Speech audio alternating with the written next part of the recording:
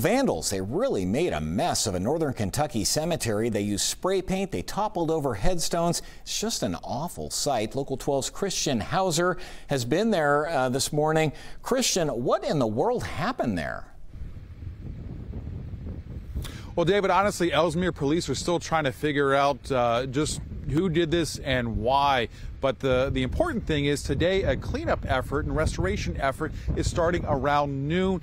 Anyone who can lend a hand is welcome to join. We're at Mary Smith Memorial Cemetery again here in Elsmere. Now, social distancing as well as mask wearing, that's all going to be, um, or they're going to ask everyone to do that here just to try to keep everyone safe. But back to what happened. Police say that vandals came in here, they spray painted some uh, anarchist symbols on the entrance sign as well as on some tombstones. Now, this is an historic black cemetery. About 30 headstones were toppled from their bases. Some expletives were also spray painted on on the pavement and headstones.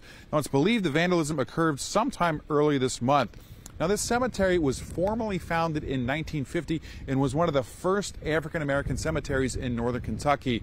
Now, unfortunately, there are no witnesses that have come forward so far to Elsmere Police, and there are no video cameras in the area to kind of um, provide any evidence as to who may have done this. And, and again, no one here knows why they did this.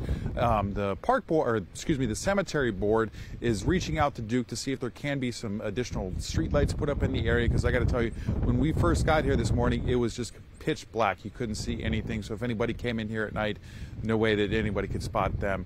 For now, though, live in Elsmere, Christian Hauser, Local 12 News. So, Christian, when did you say people are going to be showing up there? If anyone else wants to show up and help?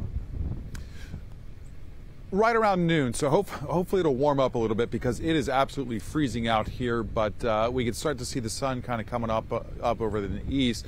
But again, about noon is when it should be happening. And again, a lot of work to do, a lot of headstones that will need to be toppled, and then some scrubbing on these uh, these other headstones that had spray paint put on them.